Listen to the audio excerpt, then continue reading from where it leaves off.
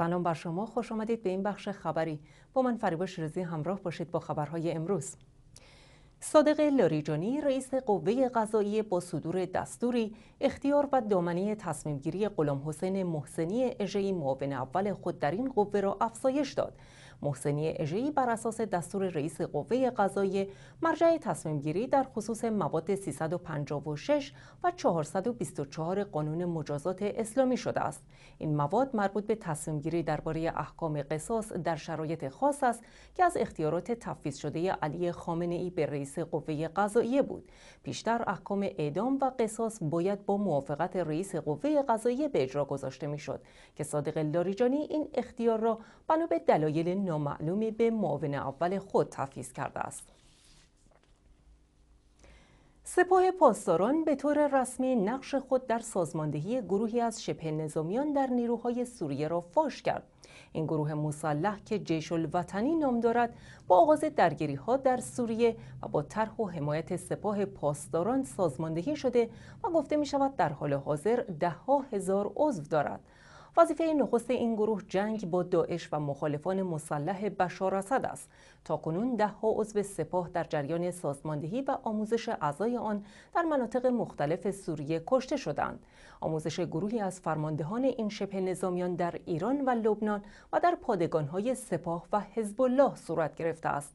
سپاه پاسداران بعد از گذشت دو سال از تشکیل این گروه مسئولیت سازماندهی آن را بر عهده گرفته و نام فرمانده بنیانگذار آن را حسین همدانی اعلام کرده است حسین همدانی یکی از فرماندهان بلندپایه سپاه است که حدود سه سال پیش گزارش هایی از به گروگان گرفته شدن وی در سوریه منتشر شده بود. علی شمخانی دبیر شورای عالی امنیت ملی و محمود علوی وزیر اطلاعات پس از نامه خیلی محرمانه جامعه مدرسین حوزه علمیه قم به حسن روحانی با اعضای این جامعه دو جلسه محرمانه ناموفق داشتند. جزئیاتی از این دو جلسه منتشر نشده اما محور آنها مسائل فرهنگی امنیتی و منطقی اعلام شده است. این جلسات حدود چهل روز پس از ارسال نامه خیلی محرمانه جامعه مدرسین به حسن روحانی درباره وضعیت فرهنگی کشور برگزار شده که در نهایت نتوانسته نظر اعضای این جامعه را تامین کند. پس از آن اعضای جامعه مدرسین حوزه علمیه قم حملات خود علیه دولت حسن روحانی را به خصوص در حوزه فرهنگ افزایش دادند. روزنامه انگلیسی ساندی تایمز نوشت بر اساس سندی که از یکی از اعضای ارشد داعش به دست آمده این سازمان از اعضای خود به فوریت خواسته است جنگ با ایران و حمله به تأسیسات محرمانه ایران را طراحی کند. احتمال داده می شود این سند که بر روی کاغذ تایپ شده توسط عبدالله احمد مشدانی عضو ارشد کابینه شش نفره داعش نوشته شده باشد. به نوشته ساندی تایمز این سند در پی حمله یکی از نیروهای ویژه عراق در ماه مارس 2014 به خانه یکی از فرماندهان داعش به دست آمده است. یک مقام امنیتی غربی که معتقد به اصالت این سند است احتمال می دهد این سند سیاستگذاری دولت اسلامی برای ارائه به اعضای ارشد این گروه باشد در این سند آمده است بایستی به روسیه پیشنهاد دستیابی به میدانهای گازی در استان انبار عراق داده شود و در عوض روسیه از پشتیبانی ایران دست بردارد و اسرار برنامه هسته‌ای تهران را در اختیار دولت اسلامی بگذارد. رئیس کمیسیون اقتصادی مجلس شورای اسلامی با اشاره به رانت 7000 میلیارد تومانی خبر داده این پول به دوبه منتقل شده است در رویدادی دیگر مرتبط با فساد اقتصادی در ایران بریتانیا اعلام کرده است بابک زنجانی و شماری از شرکت‌ها و مؤسسات ایرانی را از فهرست تحریم‌های خود خارج کرده است. رئیس کمیسیون اقتصادی مجلس شورای اسلامی ضمن تکرار اتهاماتی که به مقامات سابق بانک مرکزی ایران مبنی بر سود هفت هزار میلیارد تومانی مربوط به سه صراف با استفاده از رانت و همکاری بانک مرکزی صورت گرفته گفت که این پولها به دوبی برده شده است.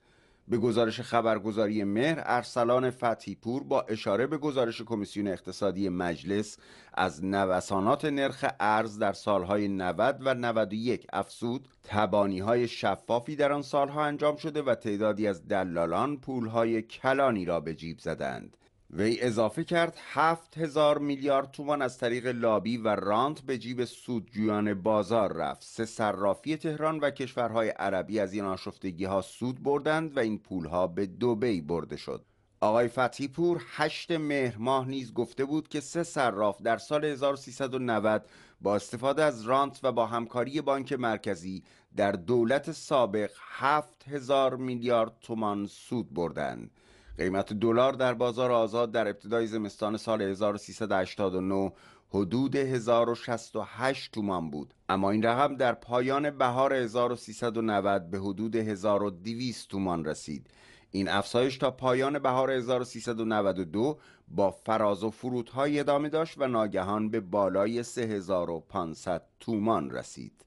کمیسیون اقتصادی مجلس شورای اسلامی درباره نوسانات بازار ارز ایران در سالهای 1390 و 1391 گزارشی تهیه کرده است که این گزارش 6 مهر در جلسه غیرعلنی مجلس قرائت شد.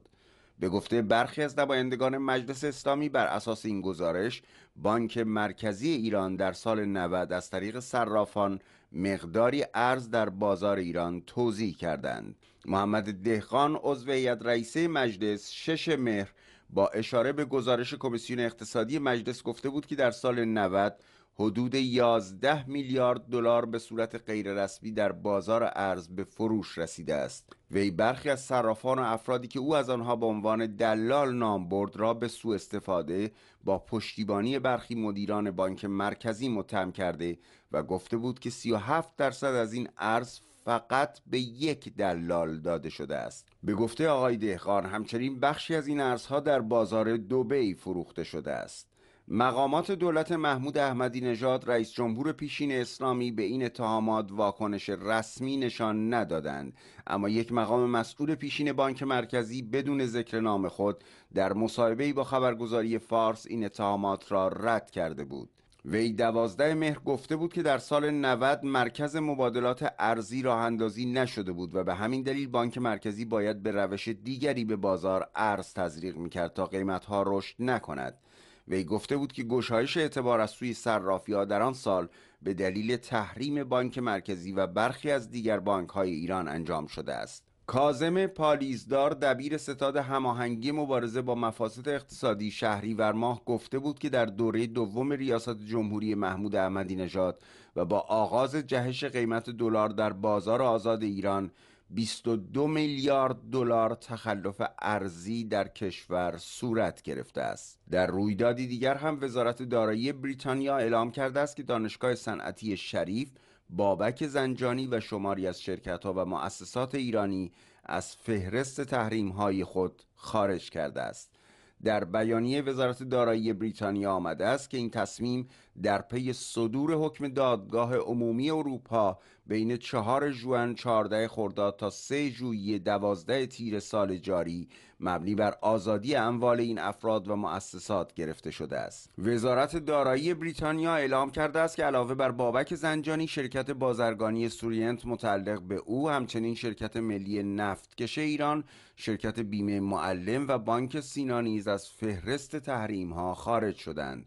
گفتنی است در حالی اسم بابک زنجانی از فهرست تحریم های بریتانیا خارج شده است که وی در ایران در زندان به سر می‌برد و قوه قضایی اتهام های متعددی علیه او وارد کرده است. بابک زنجانی در دسامبر 2012 هدف تحریم های اتحادیه اروپا قرار گرفت. اتحادیه اروپا از او به عنوان چهره کلیدی در معاملات نفتی ایران نام برده بود. پس از تحریم های اتحادیه اروپا وزارت خزانه داری ایالات متحده نیز بابک زنجانی و شبکه شرکت های تجاری او را به اتهام انتقال میلیاردها دلار از طرف حکومت ایران و نادیده گرفتن تحریم های بین المللی در رابطه با برنامه اتمی تهران در فهرست تحریم ها قرار داد. بابک زنجانی که به گفته خودش مالک بیش از هفتاد شرکت و ده ها میلیارد دلار سرمایه در ایران و خارج از کشور است سال گذشته به اتهام فساد مالی بازداشت و روانه زندان گردیده. نیروهای جنبش حزب الله در مرز سوریه با گروه موسوم به دولت اسلامی و جبهه النصره به شدت درگیر شدند. در این درگیری ها که در شرق لبنان رخ داده 16 پیکارجوی سنی و دو عضو حزب الله کشته شدند. شبه نظامیان سنی تلاش کردند با حمله به مواضع حزب الله منطقه کوهستانی در مرز سوریه را اشغال کنند که با واکنش این گروه روبرو شدند. بنابر گزارش ها حزب الله با گلوله باران شبه نظامیان مهاجم حمله آنها را دفع کرده است. تنش ها در این منطقه از ماه گذشته و بعد از حمله ارتش لبنان به پیکارجویان بالا گرفته است. جو بایدن معاون رئیس جمهوری آمریکا به دلیل اظهاراتش درباره نقش امارات متحده عربی در حمایت از گروه تروریستی داعش در تماسی تلفنی از ولیعهد ابوظبی عذرخواهی کرد. جو بایدن روز گذشته همچنین در تماس تلفنی با رجب طیب اردوغان رئیس جمهوری ترکیه بابت اظهارات خود علیه این کشور عذرخواهی کرد. بایدن در اظهاراتی گفته بود ترکیه و برخی دیگر از کشورهای منطقه از گروه های تروریستی در سوریه از جمله داعش حمایت کردند و گفته بود عملکرد متحدان منطقه‌ای آمریکا از جمله ترکیه، امارات متحده عربی و سایر کشورهای حوزه خلیج فارس در قدرت گرفتن داعش در سوریه و عراق مؤثر بوده است. گزارش ها حاکی است که نبردی شدید میان نیروهای داعش و نیروهای کرد در شهر کوبانی نزدیکی مرز با ترکیه در جریان است و نیروهای گروه خلافت اسلامی توانستند بخشی از یک تپه استراتژیک مشرف به این شهر را تصرف کنند. در همین حال برای نخستین بار یک زن کرد علیه نیروهای داعش دست به یک عملیات انتحاری زد. به گزارش خبرگزاری فرانسه نیروهای کرد مدافع شهر کوبانی می‌گویند نیروهای گروه داعش توانستند اواخر شب شنبه بخشی از این تپه استراتژیک را تصرف کنند ولی به دلیل حملات هوایی نیروهای اطلاف پیشروی آنها کند شده است.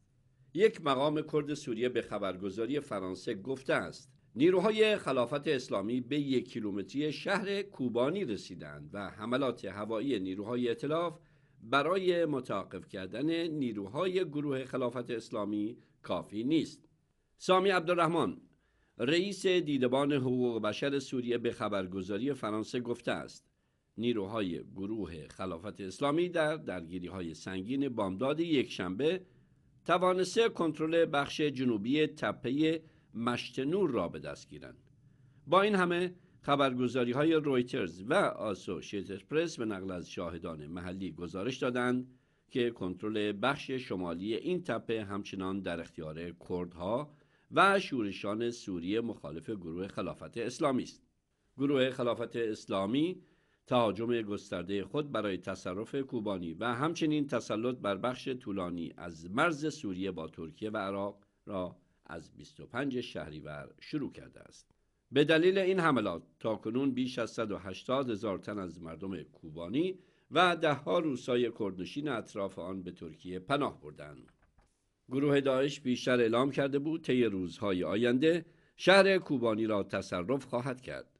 این گروه بنیادگرای اسلامی در خرداد ماه گذشته توانست بخشهای وسیعی از مناطق سنی نشین عراق را تصرف کند.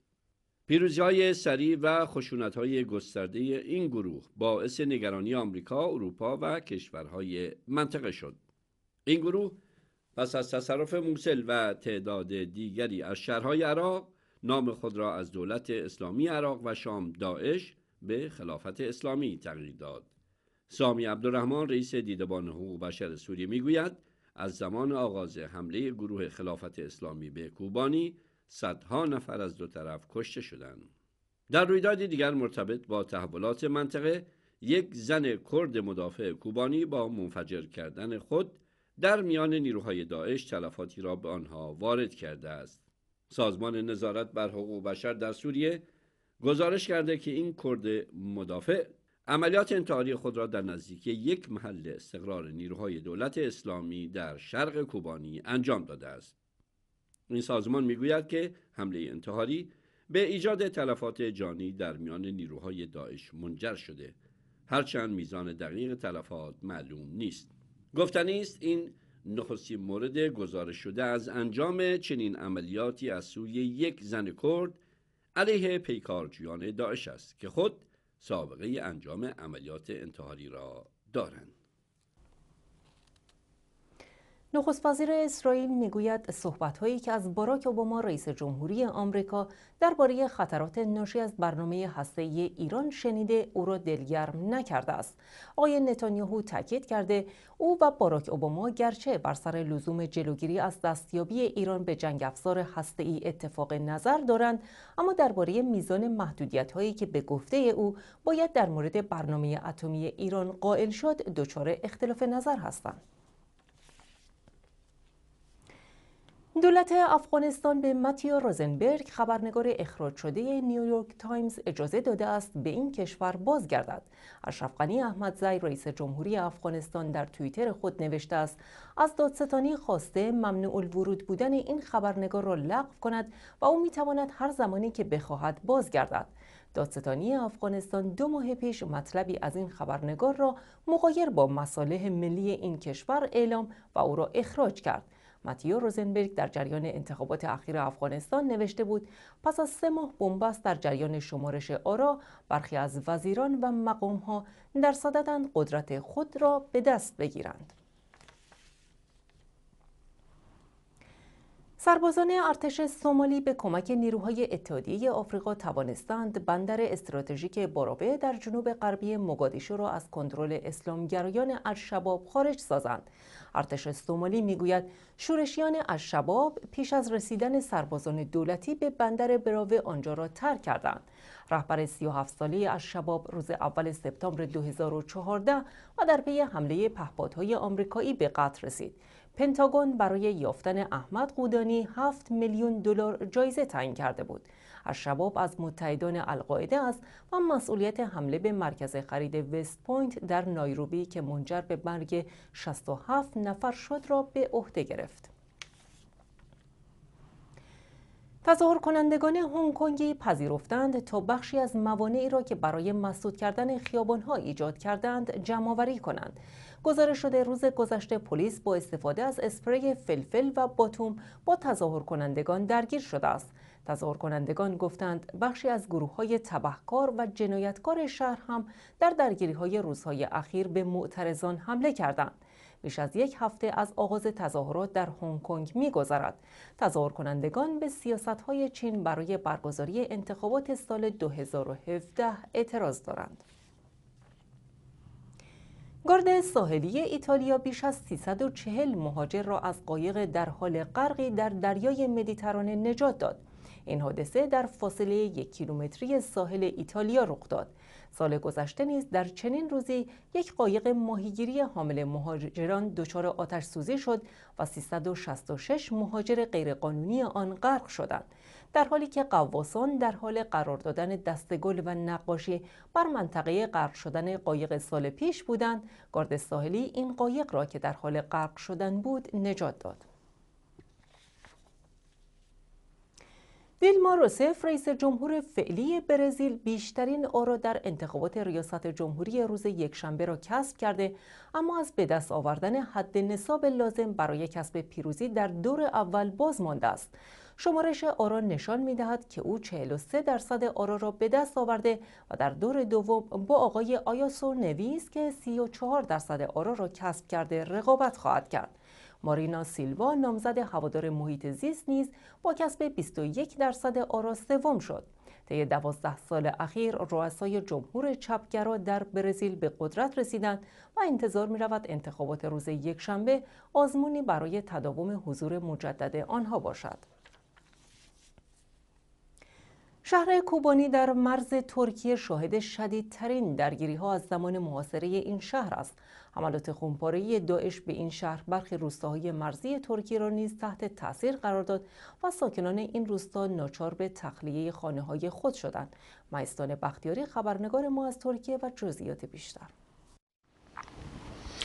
بالا گرفتن درگیری ها در شهر کوبانی حتی شهر مرزی سروش در ترکیه رو بی امان از بارش خمپارا نگذاشت. اونقدر این دو شهر مرزی به هم نزدیک هستن که یکی از خمپارهایی که داعش به سمت کوبانی شلیک کرده بود به خانه مسکونی در شهر سروش اصابت می‌کنه و باعث زخمی شدن پنج نفر میشه.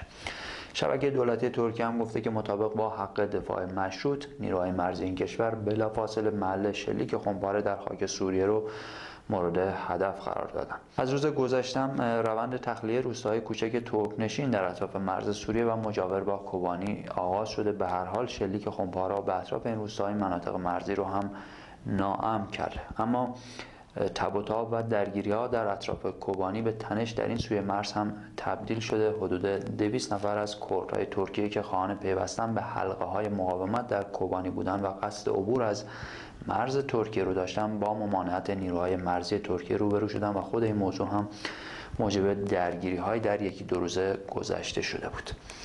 با وجود حمله هوایی نیروهای اطلاف به رهبری امریکا به مواضع داعش اما هنوز نمیشه برتری رو در جنگ به یکی از طرفهای درگیر را هرچند که نیروهای داعش به یک کیلومتری شهر کوبانی رسیدن و تپه استراتژیک مشت نور رو به تصرف خودشون در آوردن. گزارش هم حکایت از اون داره که تقریبا جنگ های خیابانی در اطراف کوبانی آغاز شده. حالا البته حضور تانک های ارتش ترکیه پشت مرز و آماده باش نیروهای مرزی این کشور در منطقه به ویژه پس از مجوز روز پنجشنبه پارلمان به دولت مبنی بر اقدام نظامی در خارج از مرزها درگیری ها در منطقه رو حساس تر هم کرده. درگیری البته در اطراف شهر کوبانی تنها به روی زمین و هوا محدود نشد. آن سوتر میان سیاستمداران هم در این رابطه درگیری های لفظی صورت گرفت سخنان جو بایدن معاون رئیس جمهور امریکا که ترکیه رو متهم به چشمپوشی از اقدامات داعش در اطراف مرزهاش کرده بود در این سو آقای اردوغان رو هم براشفته کرد.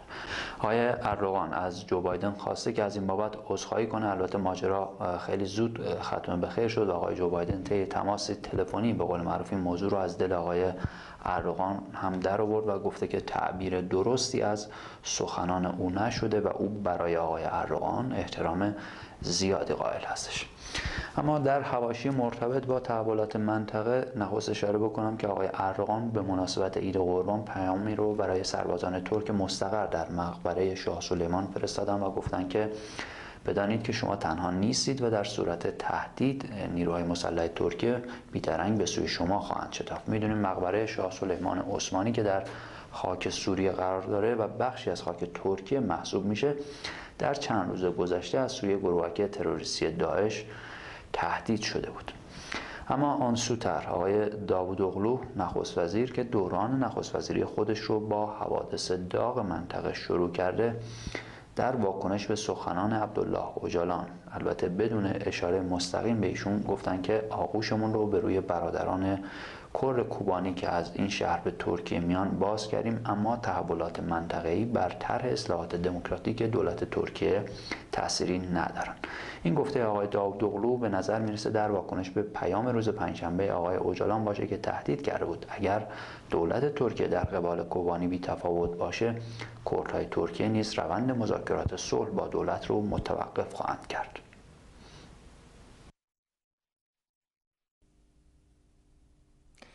قنچه قوامی از زنانی که خواهان ورود به ورزشگاه برای تماشای بازی والیبال بود پس از حدود 100 روز بازداشت موقت از روز نهم مهر ماه در زندان اوین دست به اعتصاب غذا زده است. وبسایت کلمه دلیل اعتصاب غذای خانم قوامی را اعتراض به بلا تکلیفی خود ذکر کرده است. محمود علیزاده تباتبایی وکیل خانم قوامی ششم مهر ماه گفته بود به تازگی با صدور قرار مجرمیت و کیفرخواست پرونده موکلش به شعبه اول دادگاه انقلاب فرستاده شده و وی به تبلیغ علیه نظام متهم شده است روزنامه واشنگتن پست از آزاد شدن یگانه ساله‌ای همسر جیسون رضاییان خبرنگار این روزنامه در تهران خبر داده است. واشنگتن پست به نقل از یکی از اعضای خانواده خانم صالحی می‌گوید او هفته گذشته به قید وسیقه آزاد شد اما آقای رضاییان همچنان در زندان است. خانواده آقای رضاییان با بیان اینکه جیسون رضاییان هیچ گونه جرمی انجام نداده ابراز امیدواری کردند که او نیز هرچه سریعتر آزاد شود. جیسون رضاییان خبرنگار روزنامه واشنگتن پست در ایران و همسرش یگانه صالحی و دو آمریکایی دیگر روز سی و یکم تیر در تهران بازداشت شدند. اسامی دو بازداشتی دیگر اعلام نشد اما آنها پس از مدتی آزاد شدند. حسین تامینی نماینده مجلس شورای اسلامی می‌گوید مصرف سالانه نوشیدنی های الکلی در ایران 200 میلیون لیتر است. بر اساس قوانین اسلامی مصرف مشروبات الکلی در ایران ممنوع است و مجازات آن شلاق و در صورت تکرار می تواند مجازات اعدام را در پی داشته باشد. به گزارش خبرگزاری فارس حسن تأمینی لیچایی نماینده مجلس شورای اسلامی با اشاره به آماری که مدیر کل سلامت روان وزارت بهداشت ارائه داده گفته است که میزان مصرف نوشیدنی الکلی در ایران به دویست میلیون لیتر می‌رسد. به گفته آقای تأمینی لیچایی این میزان نوشیدنی الکلی در ایران یا در داخل تولید شده و یا به صورت قاچاق وارد کشور می شود این نماینده مجلس همچنین از نگرانی تولید کنندگان الکل صنعتی از مصرف تولیدات آنها به عنوان نوشیدنی های الکلی در جامعه سخن به میان آورده است. وی افسود در این رابطه گروهی از تولید کنندگان الکل صنعتی در جلساتی که با کمیسیون بهداشت و درمان مجلس داشتند راهکارهایی را برای جلوگیری از تغییر مسیر مصرف تولیدات خود جستجو نمودند این نماینده مجلس با هشدار نسبت به افزایش مصرف نوشیدنی های الکلی در ایران از اینکه پلیس نتوانسته از رشد تولید و مصرف این نوشیدنی ها جلوگیری کند اظهار تأسف کرده است. پیشتر نیز حسن موسوی رئیس انجمن مددکاران اجتماعی نسبت به شیوه سوء مصرف مشروبات الکلی در ایران هشدار داده بود. به گفته وی مقامات قضایی و انتظامی در خوشبینانه ترین حالت 20 تا 30 درصد مشروبات الکلی موجود در ایران را کشف می کنند. باقر لاریجانی رئیس شورای سیاستگذاری وزارت بهداشت هم قبلا از وجود دو میلیون معتاد در ایران خبر داده بود که بخشی از آنها به مصرف الکل معتاد هستند. رئیس پیشین شورای سیاستگذاری وزارت بهداشت با ابراز نگرانی از مصرف الکل در تهران گفته بود گاهی از بیمارستانها و پزشکان زیر پوشش دانشگاه علوم پزشکی از رواج مصرف الکل در مناطق جنوبی تهران گزارش هایی به دست ما می‌رسد که نگران کننده است. باقر لاریجانی همچنین از فروش مشروبات الکلی در برخی فروشگاه ها سخن گفته بود. به گزارش منابع خبری ایران سالانه حدود 60 تا 80 میلیون لیتر انواع مشروبات الکلی به ارزش 730 میلیون دلار به ایران قاچاق می شود این میزان جدا از مشروبات ساخته شده در داخل ایران است. پیش از این اقبال محمدی عضو کمیسیون کشاورزی آب و منابع طبیعی مجلس شورای اسلامی گفته بود در برخی مواقع محموله های بزرگ مشروبات الکلی از معابر رسمی کشور و با حضور دستگاه های ناظر و دسندر کار به کشور وارد می شود به گفته اسماعیل احمدی مقدم فرمانده نیروی انتظامی متوسط سن مصرف الکل در ایران به 20 سال رسیده است.